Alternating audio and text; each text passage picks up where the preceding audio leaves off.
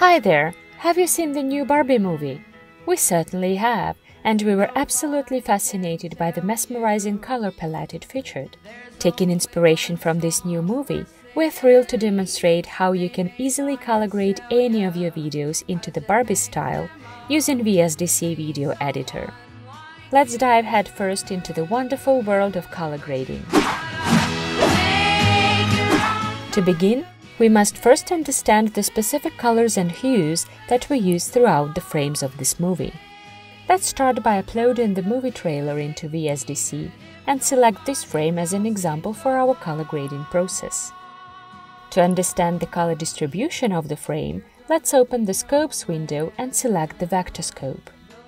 If you're unfamiliar with how to use the Vector Scope, feel free to check out our previous video for detailed guidance.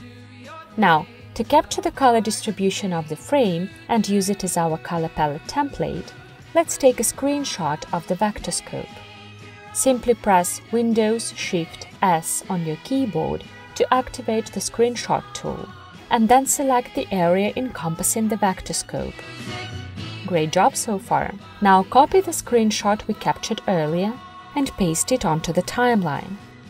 Drag the screenshot manually to the right of the main scene so that we can easily reference it during our color grading process. Once the screenshot is in place, we can go ahead and remove the trailer from the timeline since we no longer need it. Next, it's time to upload our own footage and create three copies of it.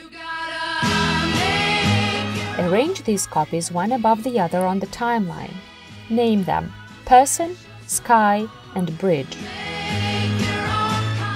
For now, deactivate the visibility of the two upper copies, Person and Sky, to focus on the bridge level. Now, let's apply the color grading effect to the video on the bridge layer.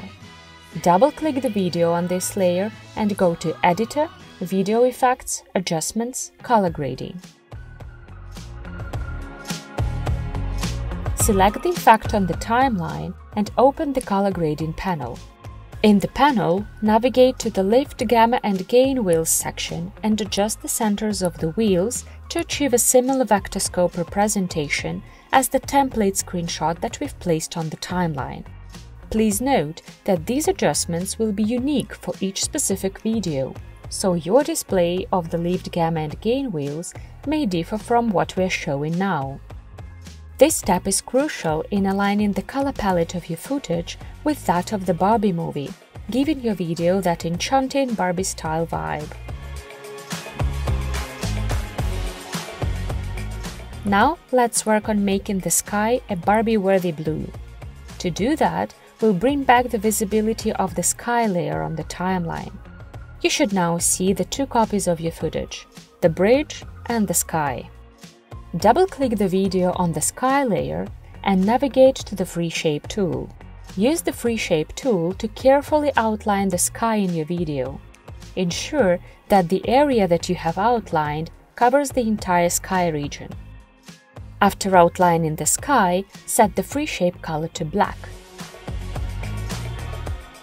Change the blending mode of the sky layer to inverted mask. The mask is ready, but it has quite rough edges. To smoothen them out, apply the Gaussian Blur Effect level 100. Then, let's return to the free shape and apply the color grading effect to it. Use the lift, gamma and gain wheels to give the sky a beautiful light blue color.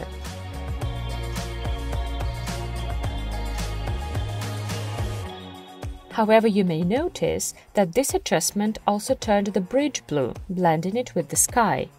To avoid this, we'll need to create another mask using a different method. To do that, head back to scene 0 and copy the video on the sky layer. Double-click the video on the sky layer and paste the copied video inside. Name it Sky Mask and make sure to place it on the upper layer. This will result in a video inside a video. Temporarily hide the visibility of the free shape and color grading inside the sky layer as illustrated on the screen. Next, double-click the sky mask video and remove the color grading effect from there. Leave the free shape inside the sky mask video without changes. Now, apply another color grading effect to the sky mask video.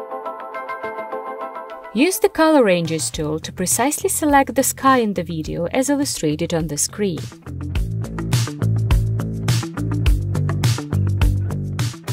Drag the white threshold slider of the offset wheel all the way down to remove brightness from the sky. The selected sky will turn black, creating an accurate mask.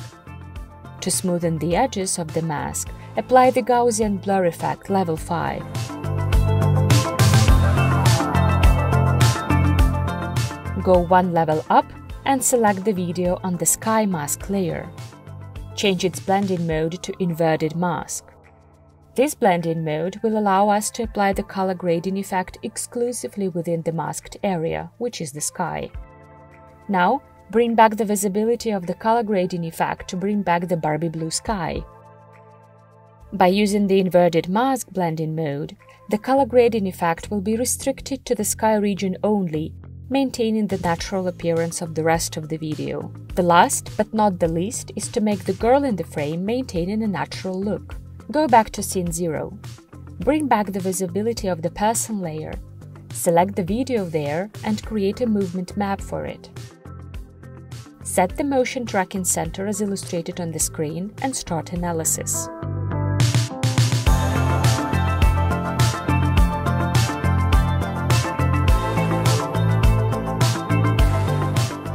Once the analysis is finished, apply editing and save the movement map.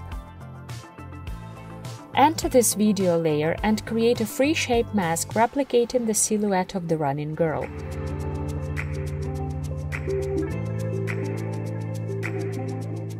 After creating the free shape, change the fill color to black, allowing it to use it as an inverted mask.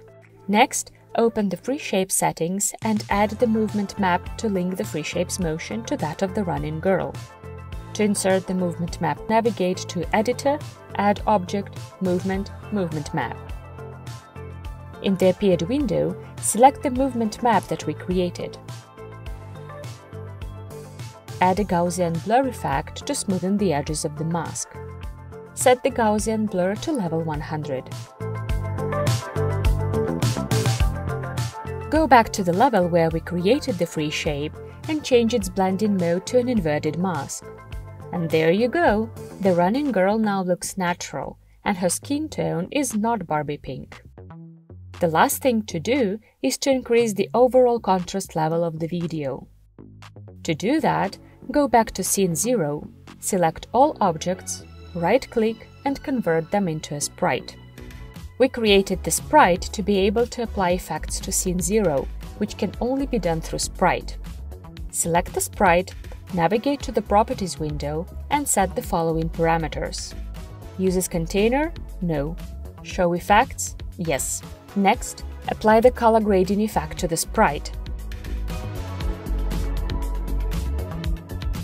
Open the color grading panel and set the contrast level to 2.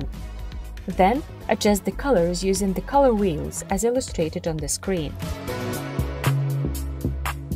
Congratulations! Our movie now boasts a captivating Barbie-style palette. Stay tuned as we will create a similar tutorial for the Oppenheimer movie.